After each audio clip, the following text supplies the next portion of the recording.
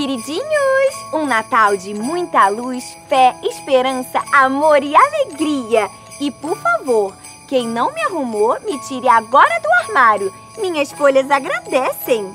E se vocês me aprontarem na sala, desligue o pisca-pisca. Assim economiza energia e evita incêndios. Eu quero muita luz, mas com cuidado!